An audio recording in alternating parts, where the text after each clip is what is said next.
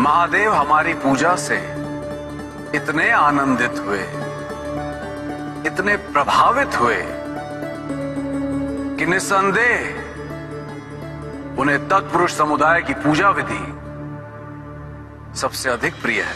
नहीं नहीं, देवराज। आप महादेव की प्रसन्नता देख पाते जब हमने उनका अभिषेक किया था। दुग्ध की नदियाँ बहा दी थी। और आप देखिएगा, ईशान समुदाय की विधि ही उनकी पूजा अर्चना के लिए सर्वश्रेष्ठ घोषित की जाएगी। महादेव को भस्म से अधिक प्रिय कुछ भी नहीं। इसीलिए हमेशा वो भस्म रमाए रहते हैं और हमने भी कोई कमी नहीं छोड़ी है उनको भस्म से विभूषित करने में। महादेव तो एक बेल पत्र से खींचे चले आते हैं। ये बात जगविदित है। बेल पत्र उन्हें सबसे अधिक प्रिय है। और देव समुदाय ने तो उनकी पूजा में उत्तम से भी सर्वोत्तम बेल पत्र का प्रयोग किया है। मुझे विश्वास है, महादेव को जितनी प्रसन्नता हमारी पूजा से हुई, उतनी प्रसन्नता किसी और की पूजा से नहीं हुई होगी। शांत हो जाइए। सब स्पष्ट हो जाएगा। महादेव को आने तो दीजिए।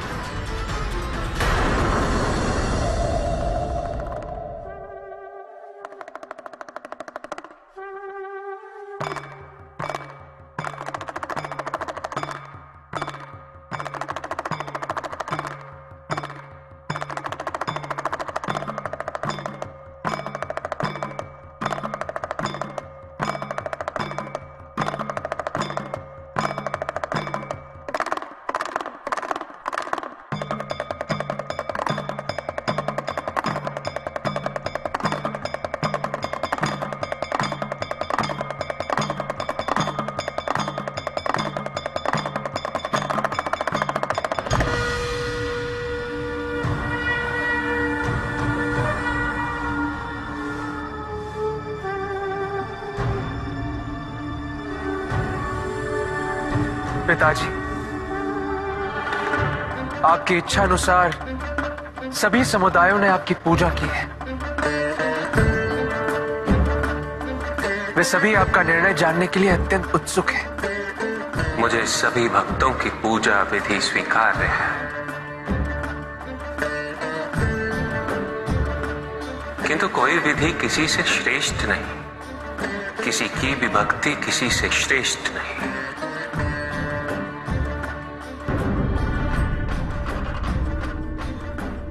श्रेष्ठ है तो केवल उस भक्त की भक्ति।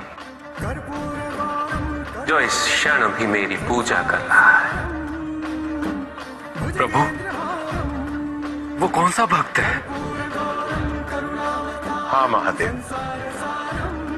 आपके सभी भक्त यहाँ पर उपस्थित हैं और सभी ने आपकी पूजा पूर्ण कर ली है। फिर आपका ये संकेत किस भक्त की ओर है? हाँ प्रभु।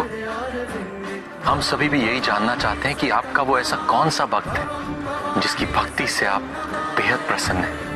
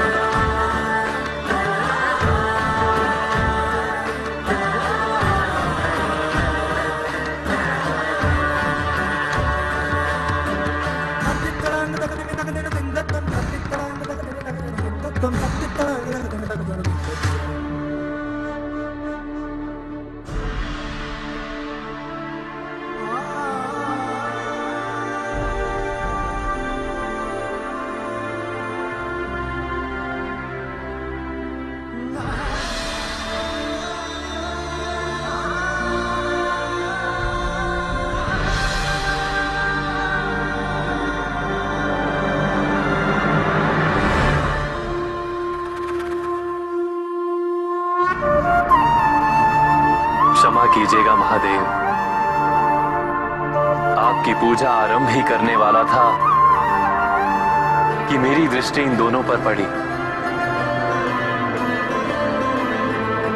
तन ढकने के लिए वस्त्र नहीं थे। इस बालक ने कब से आहार ग्रहण नहीं किया? आपको अर्पित करने के लिए मैं जो भी लाया था, मैंने इन्हें समर्पित कर दिया है। किंतु आपने इन्हें जो कुछ भी अर्पित किया, वो मुझे ही अर्पित हुआ है नारायण। यही तो है मेरी सच्ची उपासना। संसार से दीनता, भूख और हिंसा को दूर करना। भेदभाव भी हिंसा ही है। किसी का अनादर भी हिंसा है। किसी की उपेक्षा भी हिंसा है। मेरी सच्ची उपासना है मेरे समाज में शांति और अहिंसा की स्थापना। निर्बलों की सेवा और उनका सत्कार। नारायण, आपने मेरे सभी भक्तों के लिए पूजा की सर्वोत्तम विधि प्रस्तुत करती है। और यही विधि मुझे सबसे प्रिय है। दुग्ध अर्पित करना। यदि भक्त के मन को दुग्ध की भांति निर्मल ना बनाए तो ये व्यर्थ है। यह अर्पण व्यर्थ है। क्योंकि संसार में न जाने कितने ही शिशु केवल इस भूख से अकाल मृत्यु को प्राप्त हो रहे हैं। ऐसे में दुग्ध अर्पित करने का उचित स्थान मेरा विग्रह नहीं। अभी तो वो शिशु है जो निराश्रित है और उपेक्षित है। जब तक इस संसार में कोई भी शिशु भूखा है, समझ लो कि मैं भूखा और मेरी शुदा तभी शांत होगी जब उस निराश्रित शिशु को आहार मिलेगा। जब तक इस संसार में कोई भी जीव व्यथित है, समझ लो कि मैं व्यथित हूँ। जब तक संसार में अन्याय और भेदभाव है, ये समझ लो कि मैं प्रतिपल पीड़ित हूँ। संसार की शांति में ही मेरे मन की शांति। पंच महाभूतों का महाभाग है जल। जल द्वारा मेरे अभिषेक से जीवनदायी जल की अवमानना नहीं होती। क्या ये जल का सर्वोत्तम उपयोग है? क्या श्रद्धा और विश्वास को प्रकट करने के जल का अर्पण पर्याप्त है? क्या निर्जल पूजा करने से मैं मन की भावनाओं को महत्व नहीं दूँगा? जल आत्मा की संजीवनी है। असंख्य मनुष्य व जीव जंतु जल के अभाव में जीवित रहने के लिए विवश रहते न जाने कितने व्यक्ति जल की एक बूंद के लिए तिरछित रहते ऐसे में जब नदी की भांति जल मुझ पर अर्पित किया जाए, मुझे पीड़ा होती जल शरीर का संचालक है। यदि मेरे भक्त इसे जीवन सुरक्षा हेतु अर्पित करेंगे, मैं तब भी मदद हो उठूँगा। बेलपत्र मुझे अति प्रिय है। ये मेरा संताप हरते हैं। दतूरा मुझे प्रिय है। मुझे शांति देता है। किंतु यदि संसार शांति का युद्ध क्षेत्र बना रहेगा, मेरे स्वजनों के बीच सदैव महायुद्ध छिड़ा रहेगा। तो मात्र दतूरा और बेलपत्र अर्पित करने से मेरे मन को शांति कैसे मिल जाएगी?